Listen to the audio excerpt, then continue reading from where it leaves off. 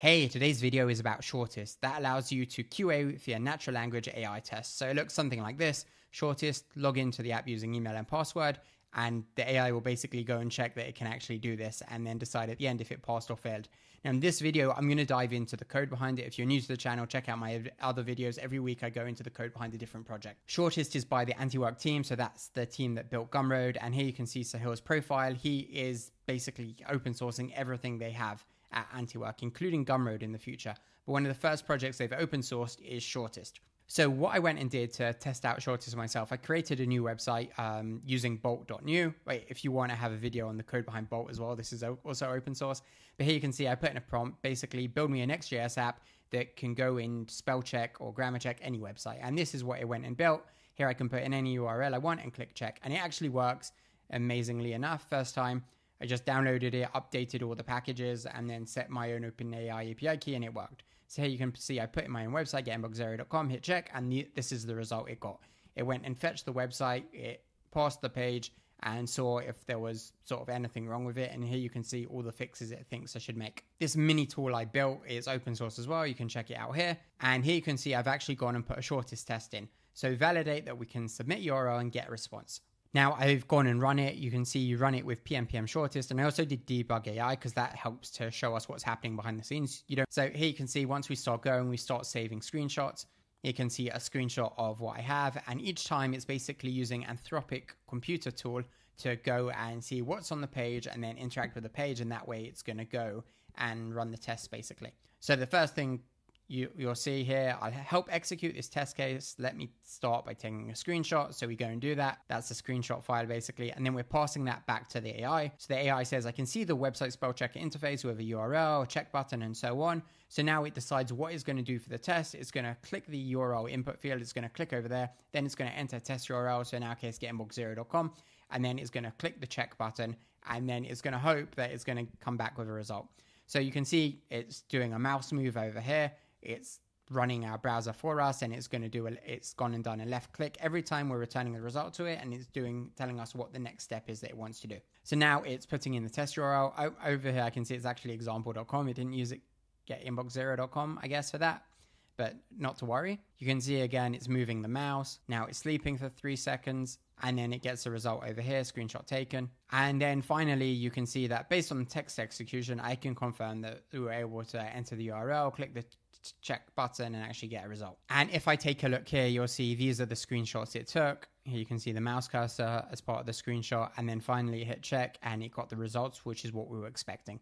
If you want to set up Shortest yourself, so just go to shortest.com. You can see how to install it, how to run it. You add a config file that looks something like this. You need to use Anthropic because we're using computer use. We're, using the computer tool basically to do all the screenshots and clicking around the app. And then there's a whole bunch of other stuff you can do as well, like callback callback functions, lifecycle hooks like before all, before each, and so on. So now let's dive into the repo and the core of the video where we actually understand how Shortest was built. So I've gone and cloned Shortest locally on my own computer. Um, you'll see a whole bunch of different stuff within the repo, but what actually matters is what's in the packages Shortest directory.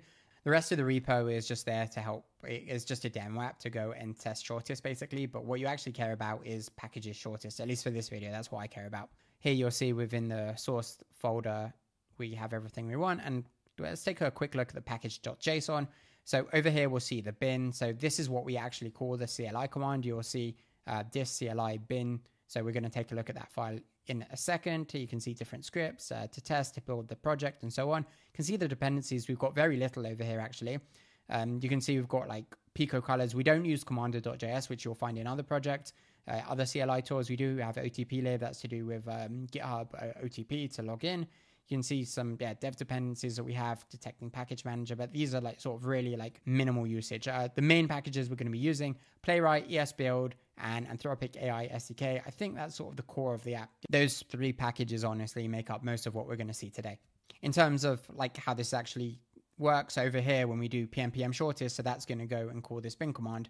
And so let's take a look at how that works. If we go to bin.ts, we will see over here um, the CLI tool we have. We do not use commander.js. So if you want to see my video on the ShadCN CLI tool that does use Commander, and that's like quite a popular choice. But here we're just sort of going to do it bare bones. You can see we're defining some flags that we want to use. Here's the help command.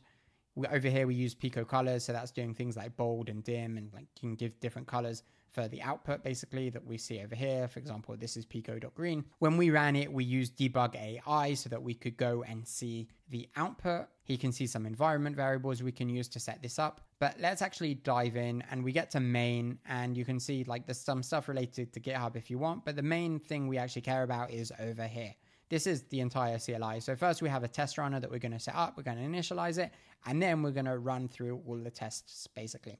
If we do run all, it will be all test. If we set a test pattern, for example, I only want login.test.ts to run, so it will go and run this. So that's a way to limit it down to just one file running instead of all 20 tests that you have. I will jump back to test runner in a bit, but first what I want to do is go through run all and see what happens when we actually run through all the tests. So here you can see we do some initialization over here. We find the different test files. So that's just going to go through our project basically and find all the tests in the tests uh, directory and also .test.ts files. And then we're going to go through all those files and then do execute test file. And then by the end of it, we're going to log the results, give a summary. So the summary, I mean, is going to be like, hey, these are the tests. We failed 10 tests. We passed however many tests, how long it took. And if I just show you that over here, you can see here, one test passed, this is duration, and this is when we started the test. So this is the final output after running through all of it.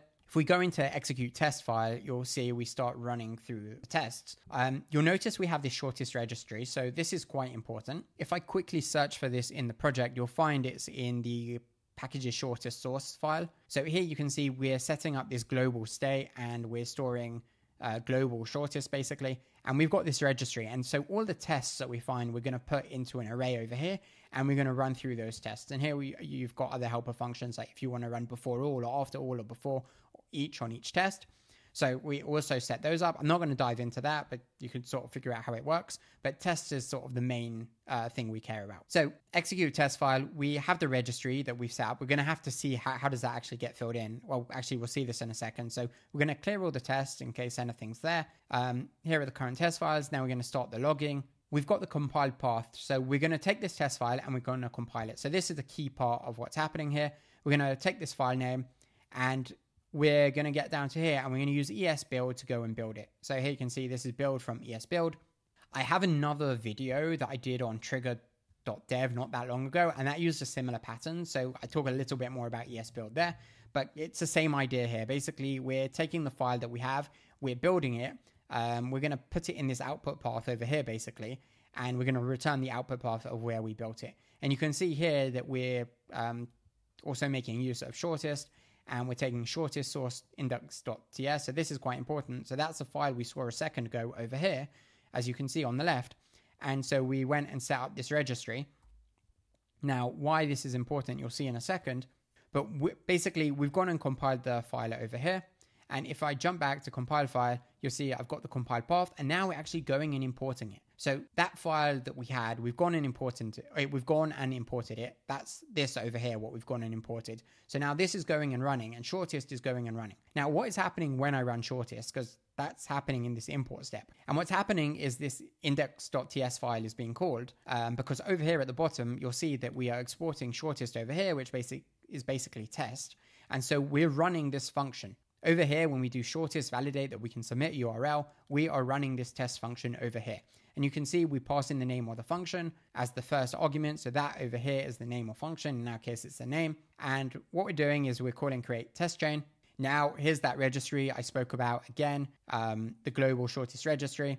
Now, if we have a function, we're going to do one thing. I don't care too much about that use case. I care about when we're doing a test using the AI, which is passing in a name over here as a string. Now, what we'll do over here, basically create, create test chain. So we're calling shortest over here. That is calling this over here. And what we're doing is we're setting up this test and we're doing registry tests.set. So we're adding this name or function, this name basically, into our test registry. And we're also pushing it to current file tests. And so now the test is in the registry. It's, it's it feels like overly complicated maybe in terms of what's actually happening. But all we did is basically push this string into an array, basically a registry. So these are the tests we can now go and run. Because now if I jump back to the runner, you'll see the registry over here, because of this import line, is being filled up with this array of strings, basically. And now what we're going to do next is we're going to launch the browser, which we'll take a look at in a little bit. We're going to create a test context, and we're going to go and run through the different tests. If we've got any before alls, we're going to do that. We'll do after alls as well at the end. We're not going to hand, look at the hooks, but you can see how they hook in pretty easily right now. And here you can see for every test of registry current file tests, we are going to go and execute the test. And then by the end of it, we're going to report the test depending on what the result is, if we passed or if we failed. And so over here, you can see this is a report of a test that we passed basically. So if I go into execute test, this is where we're actually going and executing it. We've got that context again.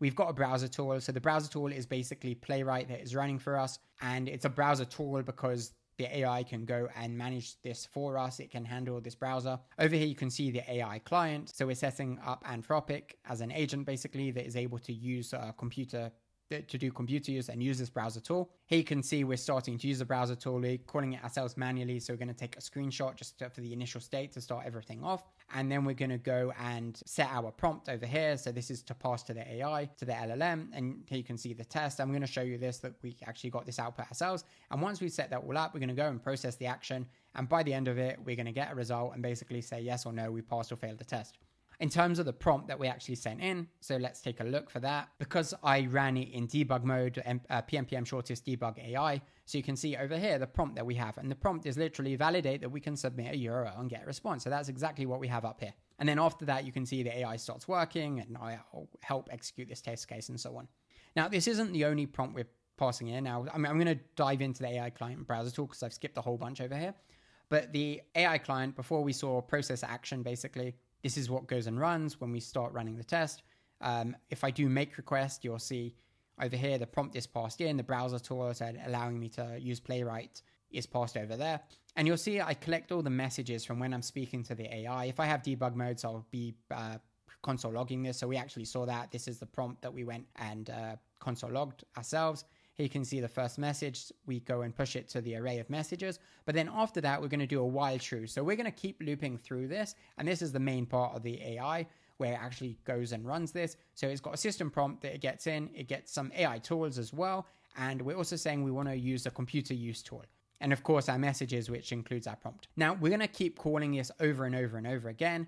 And over here, you can see every time tool use is called, we are going to basically go and use the browser tool to go and execute that tool. And when we get a result, we're going to add that to the, the messages array. It could be an image if it's a screenshot, or it could just be regular text. So let's take a look at our system prompt and also our AI tools. The system prompt, here you can see you're a test automation expert working with a Chrome browser and so on. This is an example test case, exactly what we saw. So a test would be log into the app using GitHub login. And here you can see all sorts of important global rules. So wait for conditions, how you should use tools, screenshot rule, test expectations. All expectations listed in the test instructions must be fulfilled and you could also have an option to test the email using Mailosaurus. Finally, um, your task is to do the following. So th- this is sort of the key part. Execute browser actions to validate test cases. Okay. Use provided browser tools to interact with the page and return test execution results in strict JSON format. So the result should be either pass or fail, and then we should also pass a reason.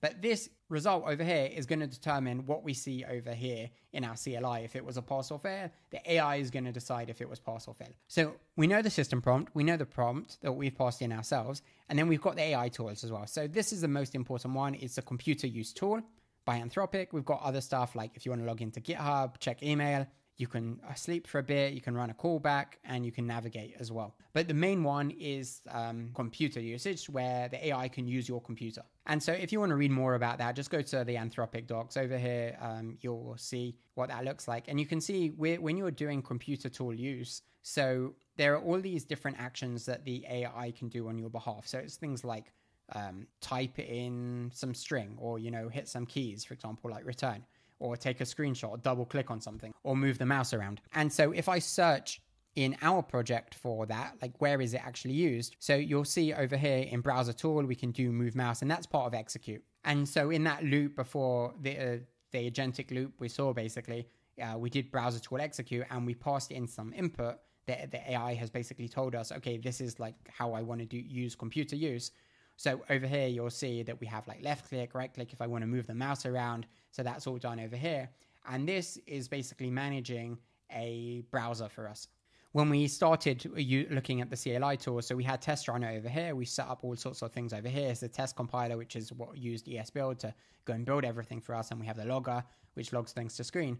But also in the initialize function, which I didn't cover, but we have this browser manager. And the browser manager, here you can see we're using Playwright. And so we're launching the browser. If we don't have it, we're installing it. And then also when we're launching it, we're setting up a new page basically making sure that page is ready for use. So every time we're interacting with the browser, basically Playwright, you'll see it loading on your screen when it's doing that, and it's going to be taking screenshots along the way, like the different screenshots we saw over here. And here you can see that back and forth flow that we showed you before. So we have the AI every time it's taking a step, like I'll help uh, execute this test case. Let me start by taking a screenshot and so on. Here's the screenshot you get back. And we keep going through, moving the mouse, and so this is how all of that is happening. The AI every time is asking us to move the mouse or like left click in this case or type in some text, for example, example.com. I want you to like the action to type it in. And so how that was happening, it gets to this part over here. We understand the AI is asking us to execute something in the browser tool. We're doing that, typing in some text, and over here is where it actually goes and happens. And then we pass back the result for it. So over here, you can see we're doing type, we do like wait a bit of time, um, type some text and so i think that's basically it for the project. I'm going to go through this again just for a minute so you understand how it works end to end because like we covered like a lot of different moving pieces but now i'll talk about the full flow uh, end to end once again. So over here we ran pnpm shortest cli tool and that somehow went and ran this file over here and logged some results passed or failed back to us. When we called this over here pnpm shortest so that ran this bin file we set up some things we needed, like a browser tool and so on. And then we went and ran through the different tests. So if I went to run all, we found all the different tests, and then we needed to execute every test file we found. We set up this registry, which was very important because we went and compiled all the different test files we had. This is an example of a test file, and when shortest was called on it, it basically pushed this string over here into an array, um, and that happens in this file, in this line over here, when we import the compiled path we are adding this string to the array, and that's a test that we want to go and run. Now, in this registry, we want to loop through all those files and do execute test each time. And over here, once we've got the result, we want to report the test to the CLI output. The test execution itself, we set up a browser tool, basically a browser that we can automate with the AI client, which we did over here. The AI client could loop through and run as an agent so it could control the browser for us and do all sorts of things. And by the end of it, we got over here to AI client process action, which is where it actually ran as an agent and gave us the result and basically told us did we pass or fail or not. So I hope you enjoyed the video, enjoyed doing this one. Uh, if you're new here, I would love for you to subscribe. I run through the code behind different open source projects like I did this week, but I've done many other videos in the past, tools like trigger.dev or bolt.new showing you the code behind them or shad CNC So I'd also love it if you gave Inbox Zero a star on GitHub. This this is my project. It's basically an AI personal uh, assistant for your email. So if you wish that you had a personal assistant that just managed email for you, but you figured, well, I can't spend $3,000 a month on a personal assistant. So maybe an AI could do it for me. So that's what Inbox Zero is. And it's fully open source. So yeah, feel free to run it yourself or use the hosted version at getinbox0.com.